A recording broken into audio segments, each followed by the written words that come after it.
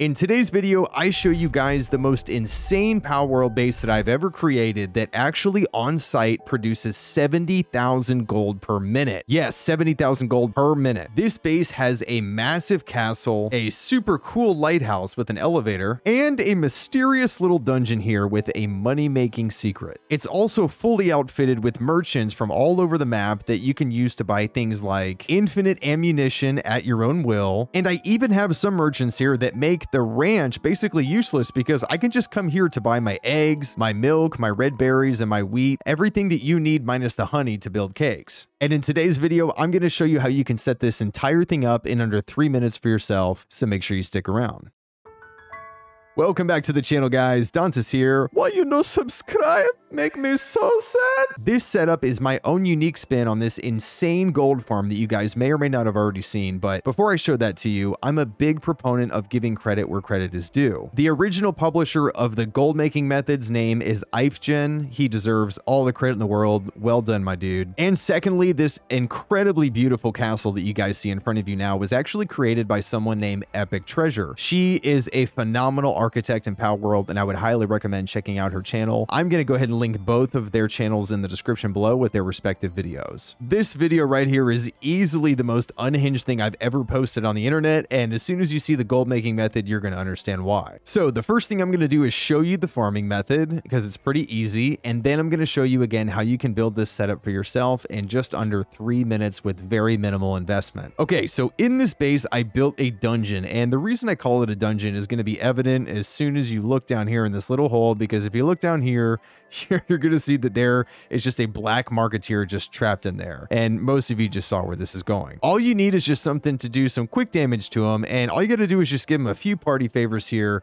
And as soon as you do that, he will willingly give you a ton of gold. So that's great. That was a ton of gold, but I don't know if this next part is actually supposed to happen, but as of patch version 0.1.5.1, this is still working. So I'm going to go ahead and show this to you guys. All you got to do as soon as you take out that black marketeer is travel to one of your other bases. Wait here for about five seconds or so, and then you're just simply to fast travel back to that base. As soon as you get there, run back to the dungeon, and would you look here? The black marketeer is back here again, ready for some more party favors. And there's the gold. So even with this most recent patch, you can still do this over and over and over again for basically as much gold as you want. Of course, the amount of gold that you guys get is going to be determined by your drop settings, but even if you don't have your drop settings turned up, this is still hands down going to be the fastest way to farm gold, no matter what those settings are. So why is this so good? Well, gold is nice, but it's what you can do with that gold that makes this so worth your while to get this set up as soon as you can. As I mentioned before, you can actually capture yourself your own PAL merchants, bring them to this base and deploy them. And if you look here, I can actually deploy this merchant and look, I can buy infinite handgun ammo, infinite assault rifle ammo, infinite shotgun shells, and now this video is demonetized. But you could also do the same thing for things like this uh, merchant here that sells all the materials you need for cakes, which you need for breeding, in addition to high grade medical supplies. I mean, guys, this is just insane. You can farm as much gold as you want and then purchase for yourself all these items that usually take a ton of time to make at your own base and just buy them at max capacity over and over again. And I like that, just like you like the video. So the castle and the lighthouse and the dungeon and the other buildings, they, they look cool, but you don't actually need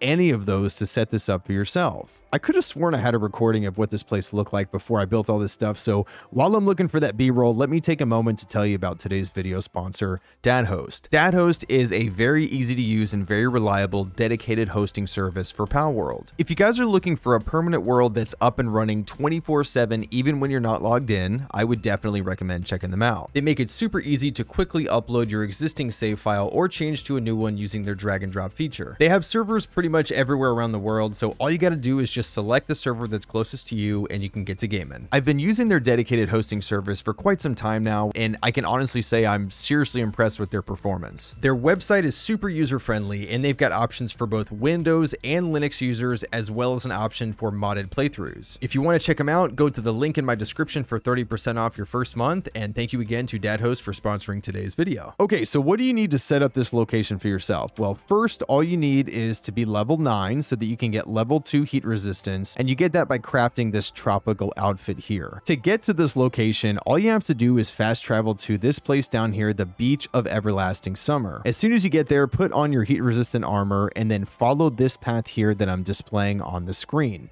You're basically just going to go over this little cliff, above the water. You could use a flying mount if you want one. And all you're looking for here is just that black marketeer here on the beach. Once you get here, place down a PAL box. You don't actually need the marketeer to be inside of it. But once you get here, I actually built myself a stone foundation around the marketeer so that I could have him kind of trapped in this little area. And as you can see here, I'm just kind of building these around in a square-like fashion, leaving that little opening there. Now, something important to mention is I did build that massive building on top and I found that if you cover the area above his head, he actually will not respawn. So if you are going to do this and if you're going to do something simple like this, you're totally fine. But if you build the whole building and you put a roof over it in any respect, he will not respawn. Like it, it's almost like they drop out of the sky. So just think think like that. If I take the Marketeer out and if he drops from out of the sky, will he be able to land in this little area right here? So as long as you have it built like that, you're going to be just fine. And guys, that's essentially all you need. I mean, if you look here, I actually have seen other videos where people will deploy all their strong pals. They'll say hi to the Marketeer and then they'll just come in and just obliterate him for you. That's one way to do it. Or if you just wanted to use a shotgun like I did, that's kind of an easier way to take them out. Again, it's just going to depend on what level you are. But bear in mind, if you do use this method of taking all your pals to,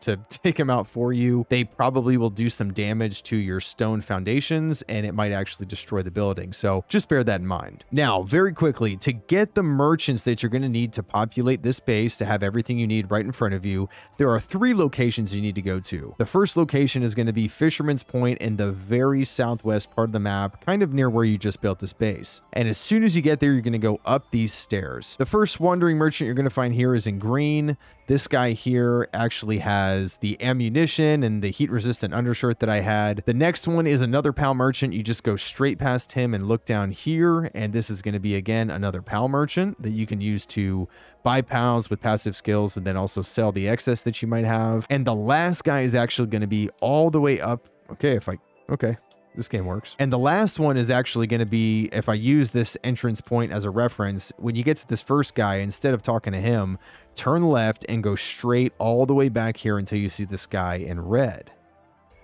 Once you get here, talk to him and you can see that he is the one that sells the high grade medical supplies, some high quality oil, in addition to tomatoes and lettuce that you're going to need to make yourself some salads. The next location is actually one of the more important ones, and this is going to be in the very northern part of the map called the Dune Shelter.